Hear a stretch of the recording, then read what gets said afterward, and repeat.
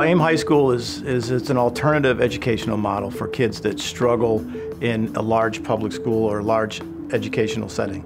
Some have Asperger's syndrome, which is on the autism spectrum. Some have anxiety disorders and nonverbal learning disorders. And this is an environment that they can reach their own potential in. My son has Asperger's syndrome. He's also got a couple of related issues, but the bottom line is he has real challenges with physical fitness. We have to focus on physical fitness for them. It's a big part of our curriculum because they come to us, many of them, having never really exercised. Back in April, NuStep donated two T4Rs to our high school. We were so excited to get that donation because we knew that they would make a tremendous difference in the health of our students and their growing relationship with physical fitness. Dick and Norma Sarns, the founders of NuStep, came to AIM High School. When they came in, they were so uh, interested in, in the kids and also our program.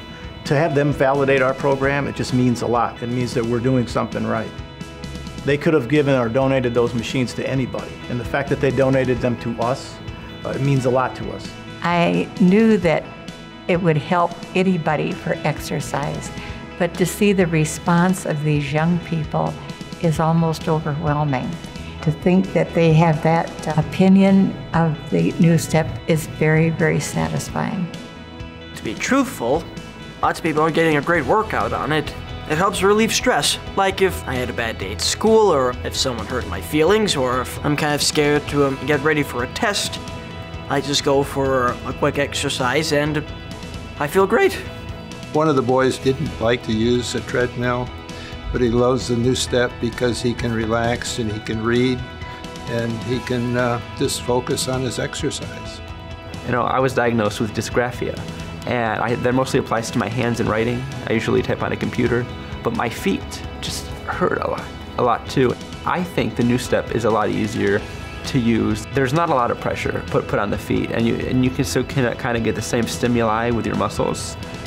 Not only can it help people like me, but it can help people that can't exercise their muscles in the same way. In the coming year, we're going to do some surveys of our students to find out exactly what sort of benefits that the students are getting from using the NuSteps during the school year. So I'm really excited about that. I think we're going to learn a lot, both for how we structure our physical education program at AIM High and for NuStep on how NuSteps can be used for teenagers.